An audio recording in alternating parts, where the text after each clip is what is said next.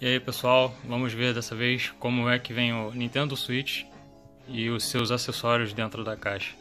Não é um unboxing porque já desmontei tudo aqui antes, então dessa vez vai ser só para demonstrar como é o conteúdo dele interno.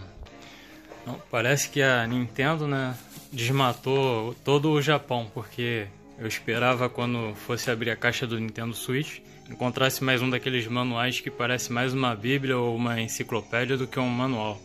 E dessa vez, Nintendo Switch não veio com nada além do que é demonstrado na caixa, né? Que são os acessórios, a fonte de alimentação, né?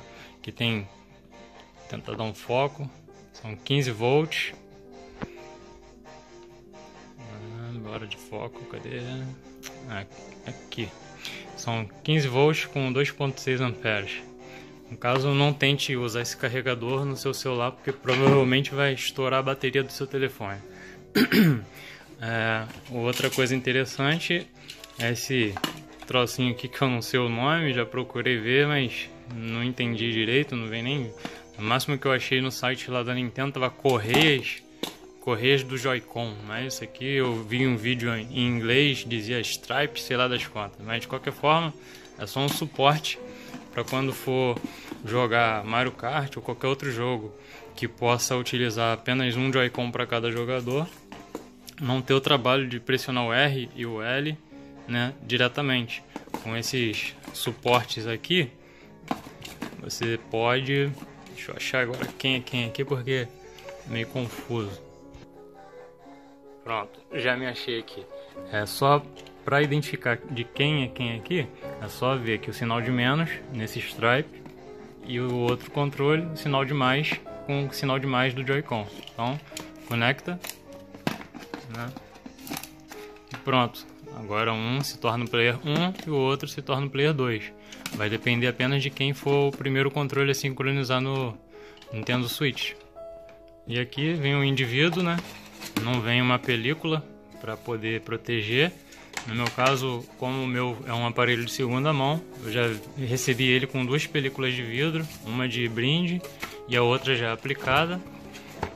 Né? Esse, esse laço aqui que eu estou utilizando é do Nintendo Wii U, que se utiliza no, no controle do Nintendo Wii U. Aí aqui, como pode ver, né, já está com uma película de vidro aplicada. Uma coisa que eu achei ruim é, não tem câmera. Eu até achei a princípio que isso aqui fosse a câmera do Nintendo Switch, mas na verdade é só o sensor de, de presença, né? sensor de movimento. Aqui está a porta USB tipo C, é a mesma do Galaxy S8 e de alguns telefones novos como o Google Pixel. Na parte de trás do Nintendo Switch tem aqui uma, uma entrada de ar, né, já que ele tem um sistema de resfriamento por cooler, então ele precisa puxar o ar de algum lado para poder que o ar saia do outro lado. Aqui é onde você encaixa o cartão de memória, né, que eu estou utilizando um cartão de 128 GB, é um SD igual que você encontra em, na maioria dos celulares, 128 GB. Aqui é o suporte para manter ele em pé, né?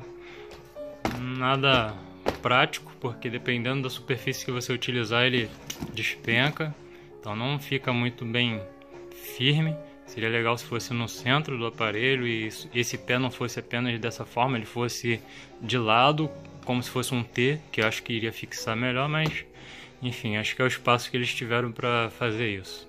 Mas melhor do que nada. É, aqui está a entrada para fone de ouvido, a saída de ar. Bom, é a saída de ar, a entrada para cartuchos, aqui na parte de trás do Nintendo Switch. É.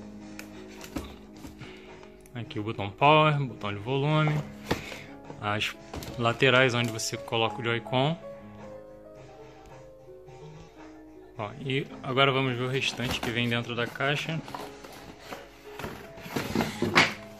Né, aqui tem o, o grip para quem quiser utilizar o, o Joy-Con separadamente, ligado direto no, no suporte. Dá mais controle, mais conforto na hora de jogar.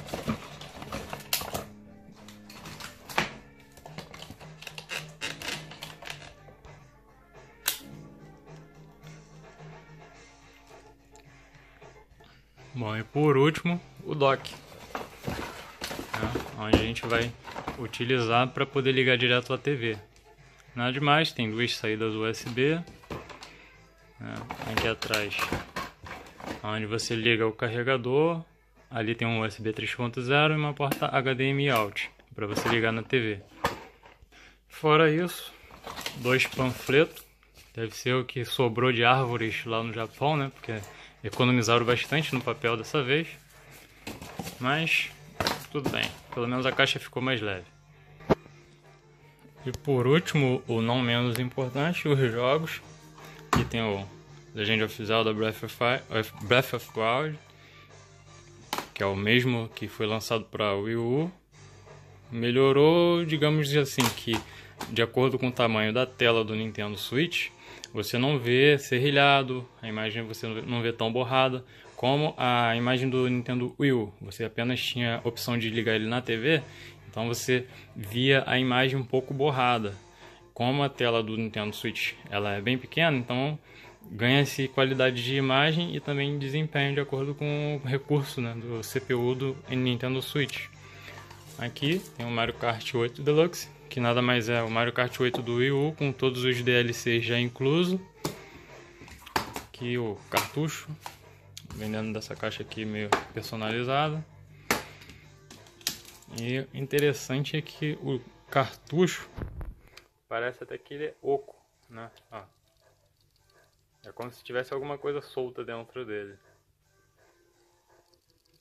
Aí eu imaginei até que fosse só esse cartucho do Zelda, que a princípio foi o meu primeiro jogo do meu Wii U. Aí como eu já peguei esse Mario Kart 8 aqui Deluxe,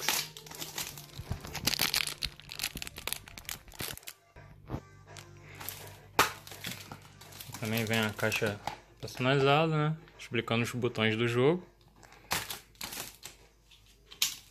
Aqui o cartucho, mesma coisa do Zelda. É meio oco. Essa boiolagem que os outros gostam de ficar lambendo o cartucho, realmente, né, ele tem um gosto meio áspero, parece um pouco com remédio. É, dizem que é para evitar que crianças, né, de menor, tipo assim, crianças de um ano de idade, dois anos de idade, que tem mania de pegar tudo que vê pela frente e colocar na boca, e a criança sentir aquele gosto amargo e retirar da boca na hora. Não foi o que aconteceu quando a minha filha de menos de um ano de idade tentou fazer essa bizarrice. Colocou na boca, sentiu o gosto amargo, tirou, depois colocou de novo, tirou e colocou e tirou. Ou seja, isso não funciona exatamente como esperado. Mas enfim, a questão é ter cuidado e não deixar coisas pequenas próximo de criança. E aqui, né, vamos ao console.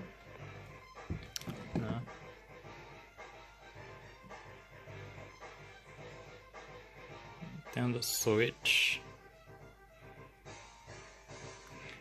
Eu posso utilizar ele sem os grip, mas é inútil utilizar ele sem grip.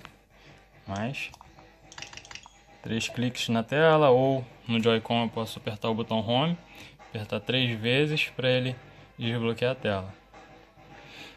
Não sincron... Ah, acabou de sincronizar. Volume máximo.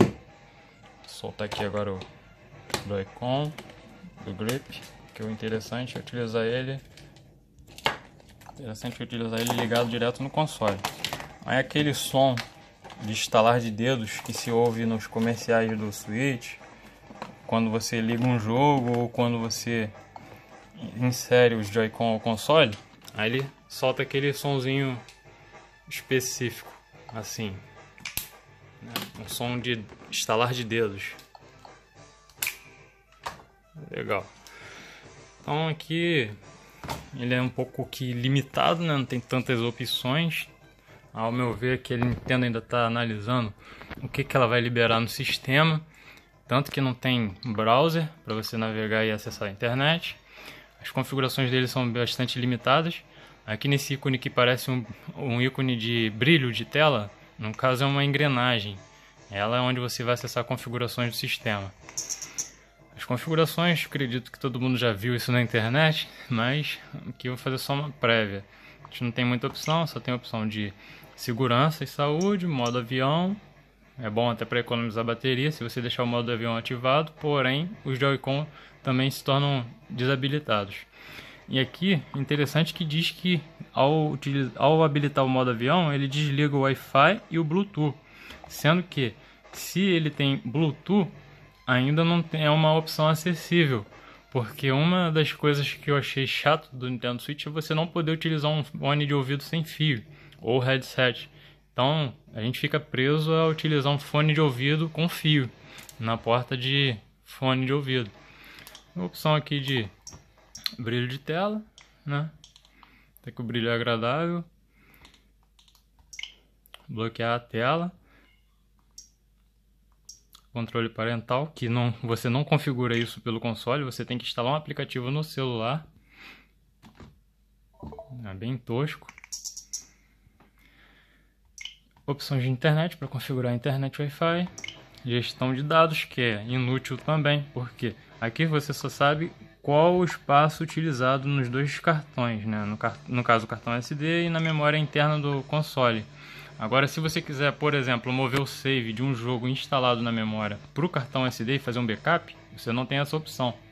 É inútil isso. É só para você visualizar mesmo. Por exemplo, aqui eu vejo que o jogo Rayman, o demo que eu baixei, está instalado no cartão SD. O outro jogo aqui, que é um jogo completo que eu comprei, o Implosion, ele está instalado no cartão SD.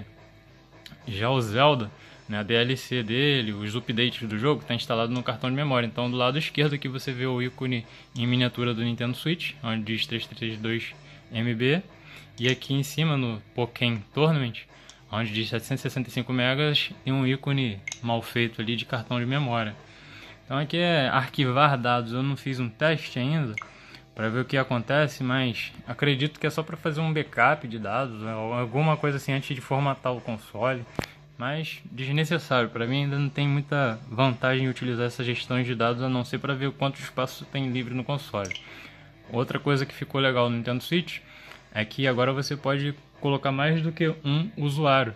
Né? No caso no Nintendo 3DS você só podia utilizar um usuário ou formatava o console para usar outro usuário ou usava um usuário que já vinha no console, caso você comprasse o console usado. Nesse caso aqui, essa ROM do Nintendo Switch, eles utilizaram o mesmo estilo, mesmo padrão do Nintendo Wii U, onde você pode colocar mais de um perfil no console. Tanto que outra coisa legal é que você pode usar um perfil para conta americana, um para conta japonesa e assim por diante. Um contra que tem para esse sistema do Nintendo Wii U é que, mais uma vez, o Brasil ficou de fora. Então, se você usar uma conta, adicionar seus dados pessoais como endereço, CEP e tudo certinho na hora que for configurar, você não vai conseguir acessar a eShop para comprar nada. E temas não tem nada demais, aqui nada a não ser mudar a cor de fundo da tela para branco ou preto. Fora isso, nada de especial. E por último aqui o Zelda, né? que vai ser para um outro vídeo, que esse já ficou longo, além do, do que eu pretendia fazer. E é isso.